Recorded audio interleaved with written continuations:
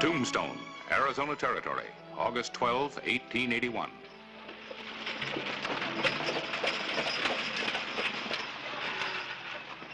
Tombstone, 20 minute layover. I'm not paying forward, but I'd be pleased to help you with your luggage. Oh, thank you, but I'm expecting my husband to meet me.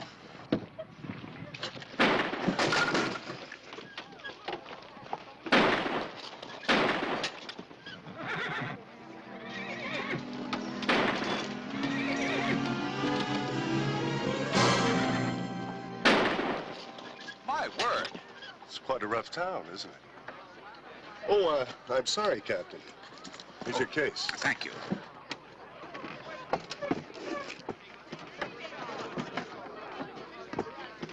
Enoch, what happened? Somebody tried to rob me. You're hurt. Oh, it's nothing, Amy. Oh, come on inside, Enoch. We'll get a doctor.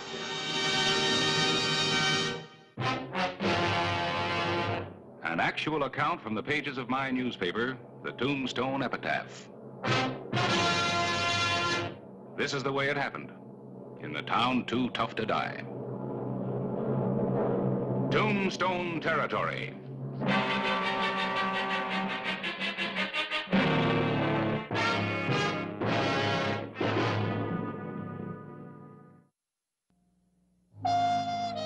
Tombstone was only mildly disturbed when an unidentified stranger attempted to rob the Mayfair store.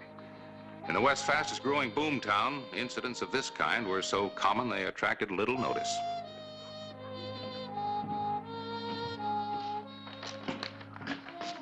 Oh, Clay? Anything interesting over at Benson? No, delivered my prisoner. How's it been around here? Oh, real quiet day. Well, I heard there was some shooting.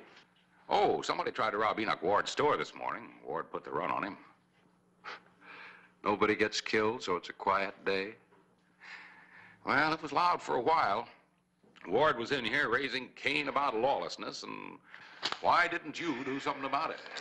Oh, yeah. That sounds familiar. There was also an army officer here looking for you. Had a dispatch case to deliver to another officer from Fort Huachuca. Where is he now? I said something about going down to the barber shop for a bath. Hmm. Incidentally, I put the dispatch case in your safe. Well, how'd you get it open? Never reveal professional secrets. Just in case you don't remember, you gave me the combination to use in case of emergency, remember?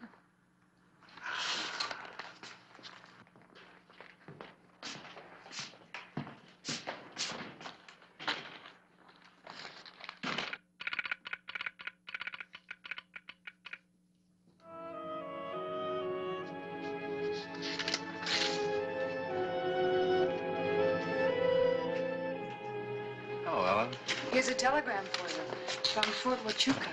Thank you.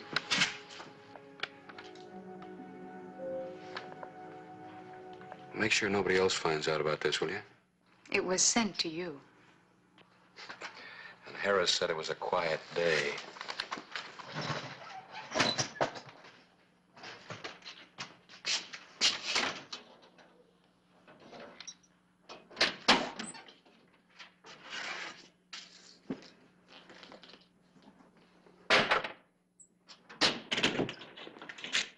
Mr. Hollister? Yes? I'm Lieutenant Lowry, Fort Huachuca. I'm going to meet a Captain Emerson here. Oh, yes, I got the message from the fort. I'm afraid I'm a little late. My horse went lame. Has the captain arrived yet? Hmm. About an hour ago on the stage. A dispatch case? It's in my safe. May I see the dispatch case? Well, certainly. May I see your orders and identification? Of course. Thank you.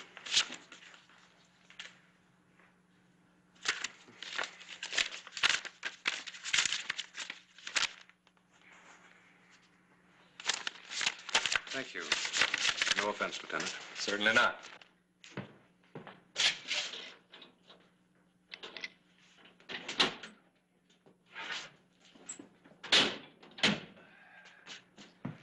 Here you are.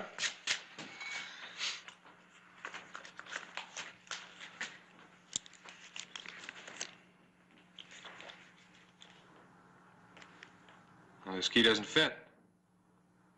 This is a different case. Try it again.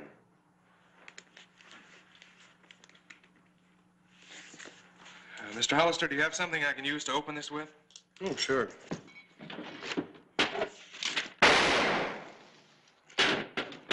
Very efficient.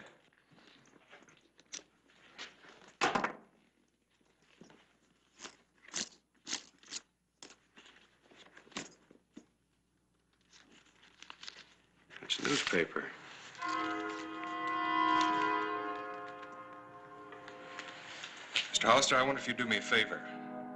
Would you try to find Captain Emerson? I'll stay here with this until you get back. All right.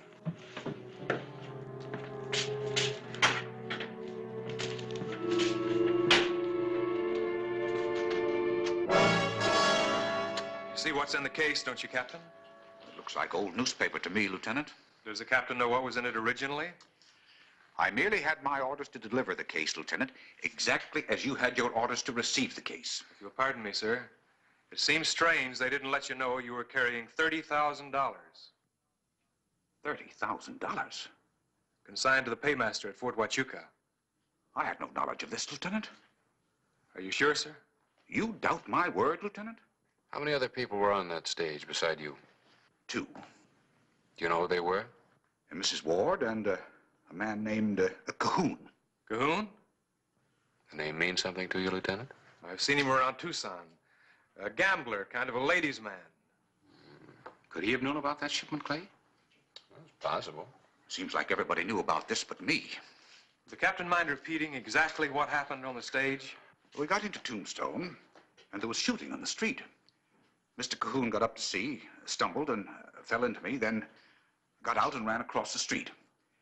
Then I followed him to the sheriff's office to meet you, Lieutenant. And you were late. Oh, that's right. I was here. I put the dispatch case in the safe myself. Well, surely you gentlemen don't think I stole the money. Sir, $30,000 is an awful lot of money, especially for a man who's over age and grade and planning on retirement. It's true, Lieutenant. I was thinking of retirement after this tour of duty. I was planning on getting a ranch of my own.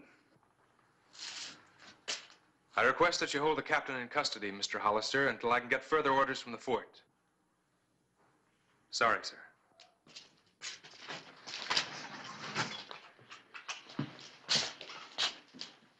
You realize, of course, Sheriff, that you have no jurisdiction over Army personnel. However, in the interest of seeing this matter cleared up, I intend to cooperate fully. Thank you, sir.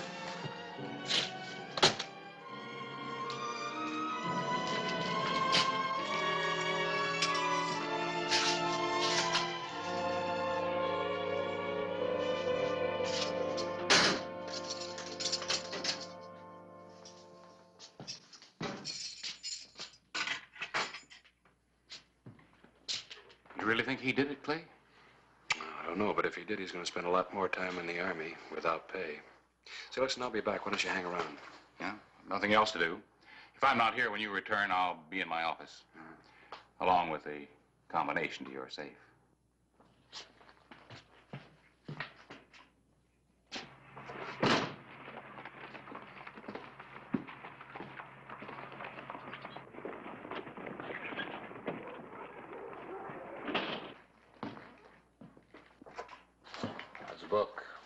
Dull. What did you do with him? What'd I do with who? The captain. Lieutenant Lowry just came in to telegraph the fort. Well, I put him in jail. He didn't do it. And just how do you know that he didn't do it? Mm, woman's intuition. I wish you'd use a little more of that woman's intuition and tell me who did. I'm thinking on it. Ellen, what do you know about Amy Ward? She likes good clothes.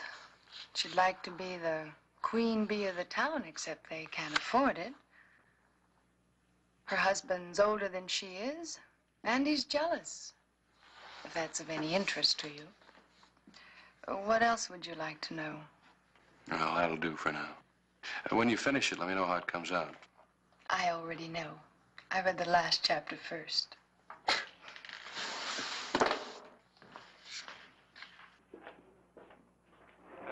Howdy, Clay. Ace. Yeah, So you drove that stage in from Tucson this morning, didn't you? that's right. Well, you know Amy Ward? Yeah, she's a nice-looking woman. She rode in with me today. Well, how much baggage did she have? And it's funny that you'd mention that. I thought it was kind of peculiar at the time, uh, making that trip there and back with just a hat box. Don't seem to make sense, does it? Well, I guess it depends on why she made the trip. Well, now, Clay, you've rode those coaches. You know that people don't ride them just for the pleasure. Yeah, I guess you're right. Thanks, Ace. Mr. Ward? Afternoon. Oh, good afternoon, Mr. Hollister. Something in uh, crepe de chine? Oh, not, not today, thank you, Miss Ward. Well, maybe you're in the wrong department. Yes, it could be that. Well, if you will tell me what you want, I'll be very happy to help you. You were on that Tucson stage this morning. Amy, time to close up. I understand you had a little bit of trouble. You're a little late with your investigation, aren't you, Sheriff? Yes, ma'am. And why don't you go out and catch the one who did it and stop bothering us? That wasn't what Mr. Hollister wanted, Enoch. Well, what does he want then? I'm not really sure. You wanted to know whether I was on the Tucson stage this morning? I was. What is all this nonsense? Please, Enoch, if we can be of any help. Would you mind telling me why you went to Tucson? To do some shopping, I, uh, I bought a hat. How many other people were on the stage? Oh, come along, Amy. And just a moment, Enoch. There were two other passengers besides myself, a uh, Mr. Cahoon and a cavalry captain. And nobody else got on or off? No, Was the captain carrying a dispatch case? I uh, didn't notice. Look here, why are you bothering my wife with all these questions? Because $30,000 was lifted from that stage. Army payroll. How terrible. Yes, Captain thought so. What has all this got to do with Mrs. Ward? She was on the stage. I think you'd better leave, Hollister. If you have no specific charge to bring against my wife, get out. Mr. Ward, there's no reason getting yourself all upset. Or do you have a reason? If you think I'm going to stand idly by while you accuse my wife of thievery... I'm not accusing anybody. Incidentally, I'd be, uh, I'd be careful of that. It could be dangerous if you don't know how to use it. It might surprise you to know that I'm considered an expert marksman. Well, no, that doesn't surprise me at all. Man might have to shoot real good. Miss a big close-up target five times. That man that tried to rob your store?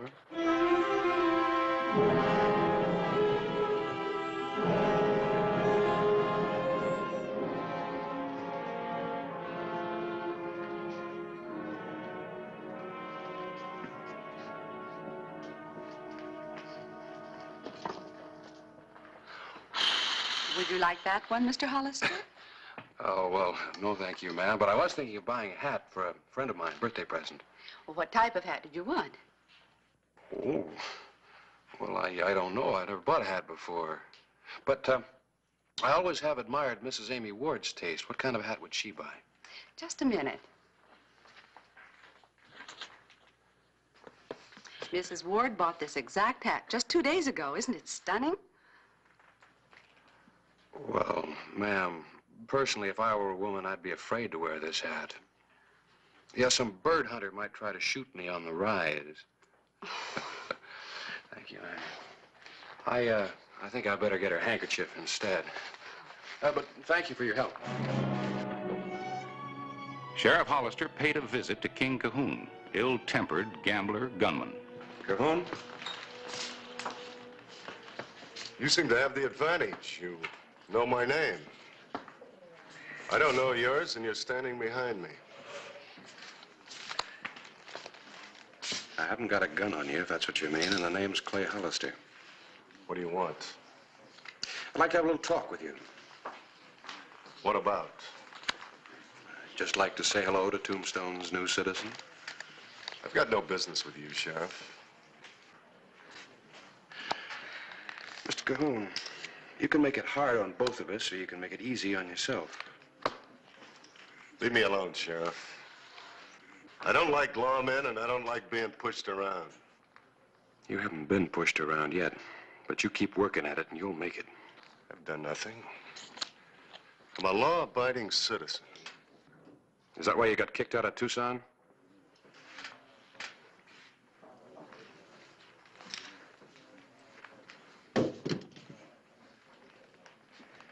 I said you could make it easy on yourself. I like it the hard way. All right. That's just the way you'll get it.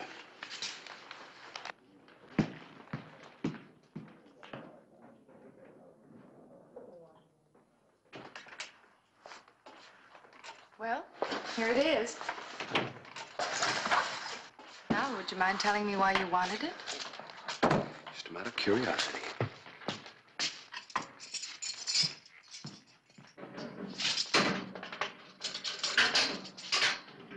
Captain? Orders for release? No, sir, not yet. This way, please.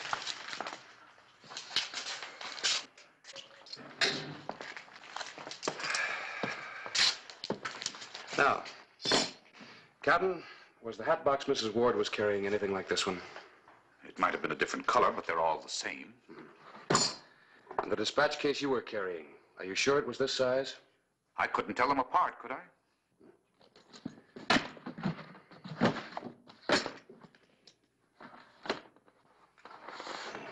Now you know why I wanted the hat box.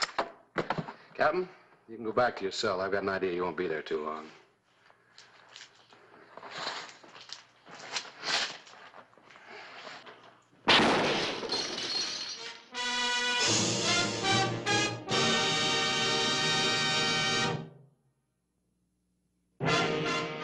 The evening of August 12, 1881. Tombstone heard gunfire for the second time that day. Was Lieutenant Lowry hurt badly? No, no. The doctor says he'll be up in around three, four days. I don't think that shot was intended for Lowry. You've been reading my mind. You got any idea who's trying to kill you? Yeah, yeah, several. You want to give me some names? I can get, start setting the type. Well, that's what I wanted to see you about. I'd, uh, I'd appreciate it if you wouldn't print anything for a day or two. Any way you want it, Clay. Thanks.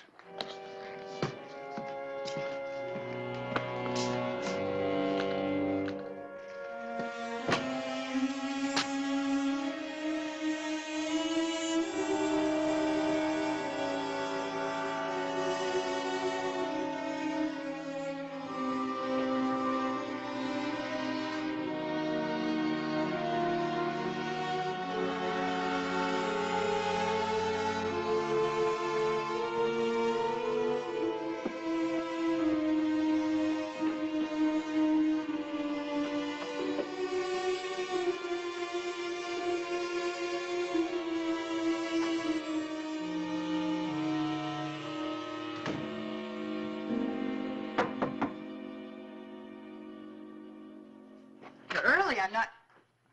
May I come in? Well, it's getting awfully late. This won't take very long. Well, if you've come to talk to my husband, Mr. Hollister, he's not at home. He's in Benson on a business matter. No, I don't want to talk to Mr. Ward. I want to talk to you. Thank you. You're leaving town. A visit to my sister in St. Louis. Oh, isn't Mr. Ward going with you? Well, he might join me later if we sell the store. Yes, I'd heard that business wasn't too good. I'm sure you didn't come here to talk about that. Well, there might be some connection. I uh, suppose it's about the money that was stolen from the stage. Yes, partly. Well, I should think you'd leave that matter to the military authorities. It's gone beyond that now. See, somebody tried to kill me a little while ago. How awful. Yes, And you think there's some connection between the two? there could be. That's rather far-fetched, isn't it? After all, a man in your position must have enemies. I can think of several. Seems that I might have made a new one. One more shouldn't matter. Now, are you quite through talking, Mr. Hollister? I haven't had a chance to get started yet. Seems to me if you'd spend more time running down criminals instead of uh, annoying decent citizens, we all might benefit a little bit. Now, what about the man who tried to rob my husband? Oh, I already know who that was. Yes, I'm pretty sure that that was just a man who was hired to create a diversion when the stage pulled in. Have you arrested him? Not yet, but I will. Now, getting back to the robbery. I'm afraid I've told you everything I have to You say. say you went to Tucson on a shopping trip? Uh, yes. How long were you gone? Oh, just up and back. It doesn't take very long to look in all the shops. And you didn't know the captain or Mr. Cahoon before that? Of course not. Do you remember, Mrs. Ward, if the captain got off the stage? Uh, I'm afraid I don't. I heard the shots, I looked out and saw Enoch, and the next thing I knew, I was running. Doesn't seem reasonable that a passerby just happened to steal the captain's dispatch case. Well, wouldn't that mean that the captain was the logical suspect? He is. He's in jail. Well, then I would think you would consider the case closed. I would. Except I just don't think he did it. See, there's one thing I am certain about. The captain couldn't have taken a shot at me. I'm sorry to have disturbed you. A new hat? Yes, it was the one thing I was able to buy in Tucson. In Tucson? Yes. Do you mind if I have a look at it? Of course not. Thank you.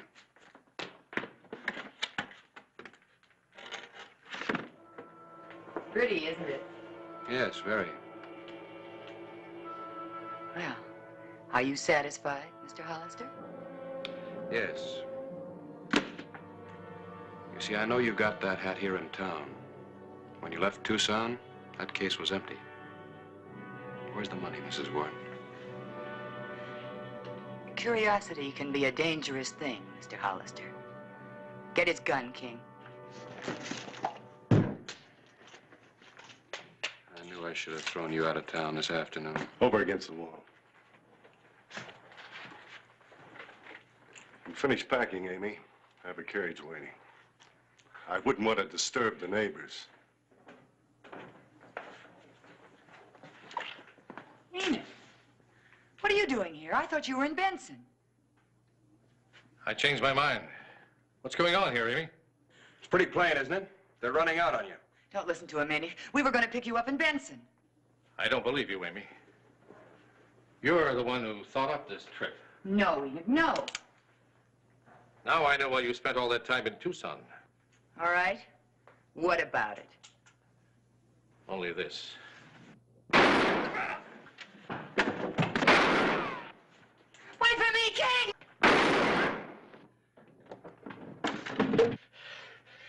Sheriff! I told you not to push me too far.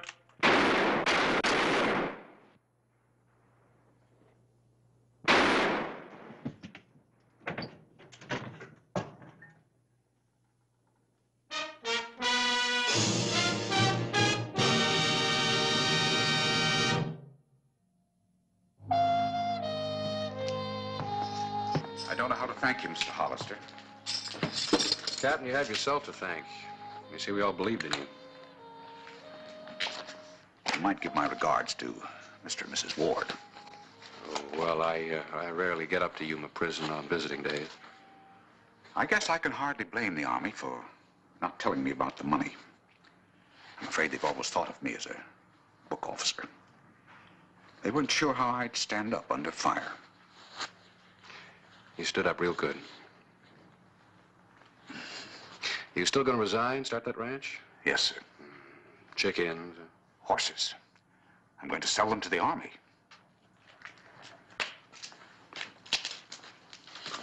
Claiborne?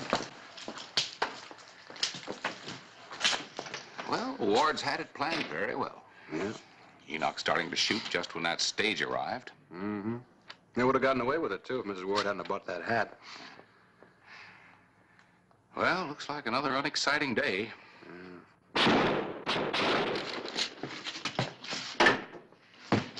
Harris, will you do me a favor? Never say that again.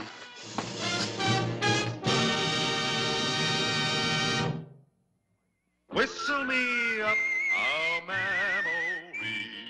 Whistle me back where I wanna be. Whistle a tune that'll carry me to tombstone territory. If your past has run afoul of the law, it's a handy place to be. Cause your future's just as good as your draw in tombstone territory. Whistle me up a memory. Whistle me back where I wanna. To tombstone territory.